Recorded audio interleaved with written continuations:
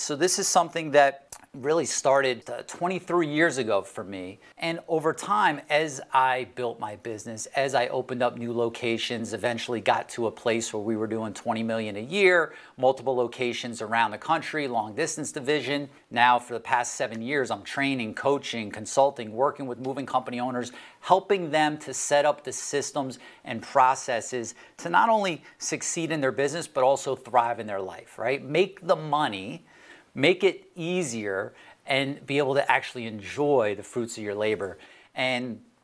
I'm sharing that with you today because there were things that I did in the past and along the way that evolved over time, right? From you know, booking moves in the car as I was driving back and forth to the car rental yard, trying to, you know, book a, a dispatch crews out of my car and having them on the Nextel walkie-talkie to later on having a full call center with 60 plus reps, you know, all kinds of techniques that I've shared, you know, with our members and helped develop.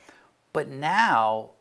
being in this position where I get to be involved with some of my private clients and mastermind members and in our inner circle and understand the inner workings of their business, I have access to so much more information and, and what's working and being able to test different scenarios in different markets with different companies than I ever did with growing my business.